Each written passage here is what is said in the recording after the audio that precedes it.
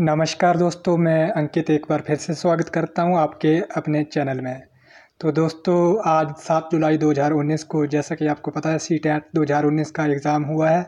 तो उसकी जो है आंसर की का फ़र्स्ट पार्ट जो है तैयार हो चुका है, आप देख सकते हैं। तो ये क्वेश्चन सीरीज़ है पी सीरीज़ है। तो आप जो टैली कर सकते हैं, मैं क्वेश्चन पढ़ूँगा और जो सही आंसर होगा वो आपको बताऊँगा।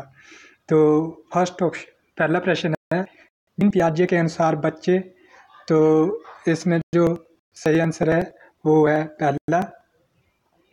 पहला आंसर जो है, वो सही है। ज्ञान को सक्रिय रूप से संरचित करते हैं, जैसे जैसे वे दुनिया में व्यवहार, कौशल का प्रयोग करते हैं तथा अन्वेषण करते हैं। तो इसका जो पहला आंसर है, वो सही है ये। क्वेश्चन नंबर दूसरा है, चालक विकास की दर में व्यक्तिगत विविधताएँ होती हैं, फिर भी चालक विकास का क्रम डैश से डैश तक है। तो इसका जो सही आंसर है वो ए ऑप्शन है, शीर्षगामी, अधोगामी। क्वेश्चन नंबर तीन है, वह अवधि जो व्यस्कता के संक्रमण की पहल करती है, उसे क्या कहते हैं? तो इसका जो सही आंसर होगा, वो होगा फ़र्स्ट ऑप्शन, किशोरावस्था। क्वेश्चन नंबर चौथा है दोस्तों क्वेश्चन नंबर चौथा है, एक बच्चा तर्क प्रस्तुत करता है कि हिंज क्यों दवाई की चोरी नहीं करनी चाहिए। वह दवाई जो उसकी पत्नी की जान बचाने के लिए ज़रूरी है, क्योंकि यदि वह ऐसा करता तो उसे पकड़ा जाएगा और जेल भेज दिया जाएगा। कोलबर्ग के अनुसार, बच्चा नैतिक समझ की किस अवस्था के अंतर्गत आता है? तो इसका जो सही आंसर है, वो है तीन नंबर, दंड एवं आज्ञा पालन अभिविन्यास। क्वेश्चन नंबर पाँचवा है, मौखिक संवाद जो बच्चे अपने आप से करते हैं, उन्हें लेव वियोगोत्सकी कहते हैं, क्या कहते हैं? तो इसका जो सही आंसर है वो पहला है, अहकेंद्रित वार्ता। क्वेश्चन नंबर छठा है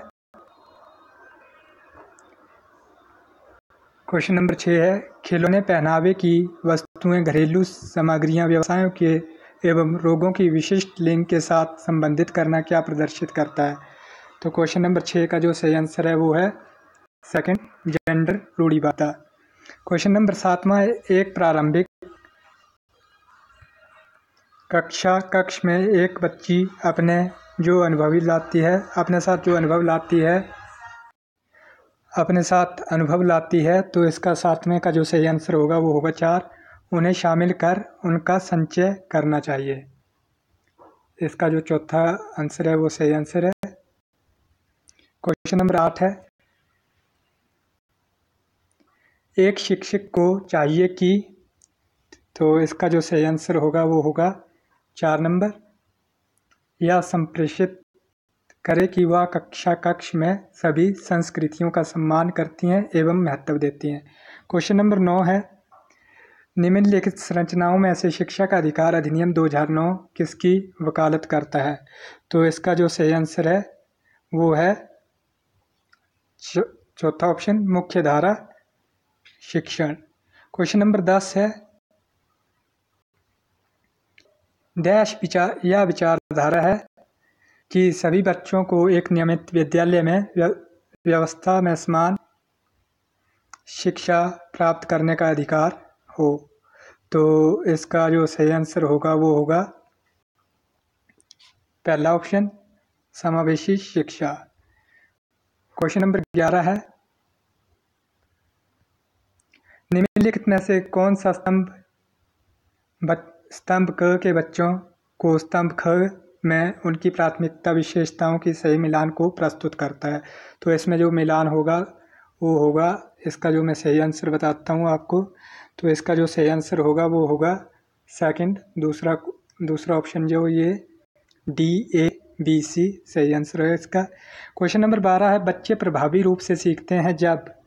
तो इसका जो सही आंसर है, वो है फोर्थ ऑप्शन वे विभिन्न गतिविधियों एवं कार्यों में सक्रिय रूप से भाग लेते हैं। क्वेश्चन नंबर तेरह है, बच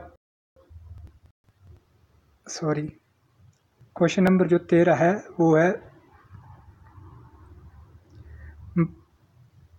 बच्चों को कक्षा में प्रश्न इसका जो सही आंसर होगा, पहला होगा, पूछने के लिए प्रेरित करना चाहिए। फ़र्स्ट ऑप्शन जो है, पहला, ये इसका सही आंसर है।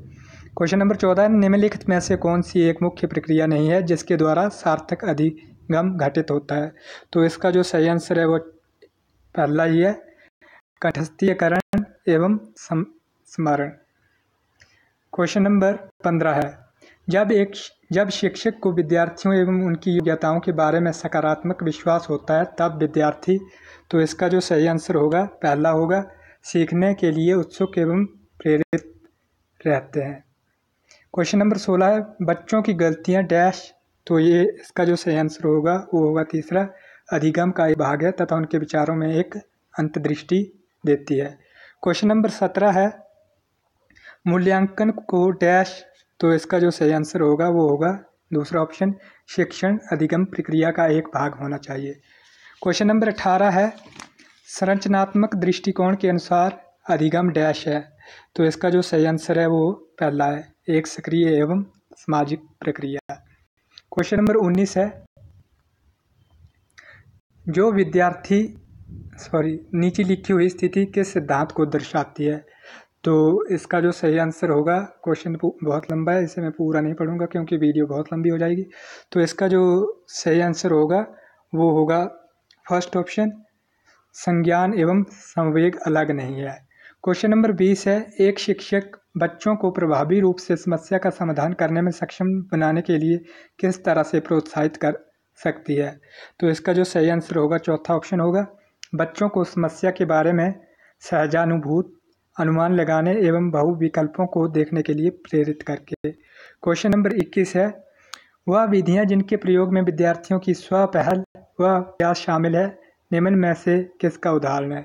तो इसका जो सही आंसर होगा, वो होगा तीसरा, अधिगमकर्ता केंद्रीय विधि, केंद्रित विधि। क्वेश्चन नंबर बाईस है, बुद्धि के बारे में निम्नलिखित कथनों में से कौन सा सही है?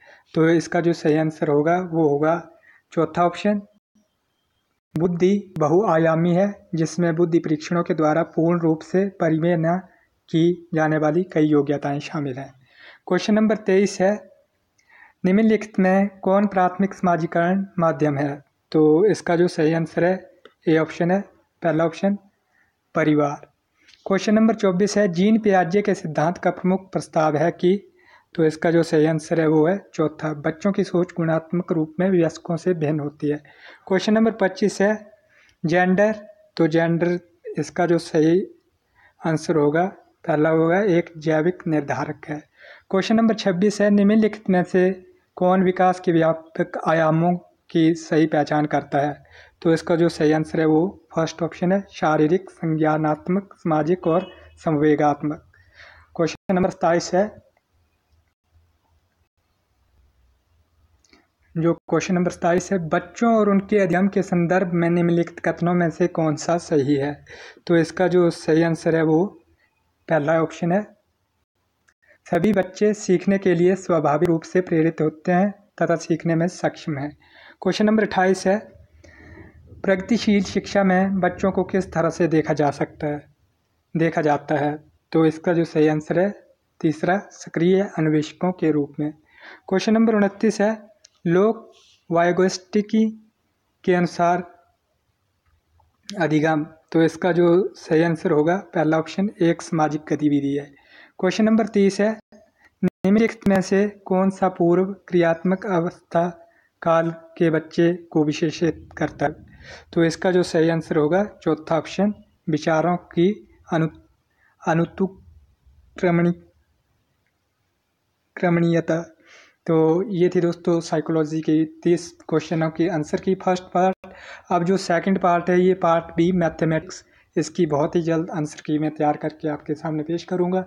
अगर आपको वीडियो अच्छी लगी हो तो लाइक करें चैनल पर नए हो तो सब्सक्राइब करें, क्योंकि मैं latest notification question paper answer की लाता रहता हूँ अपने चैनल पर। धन्यवाद।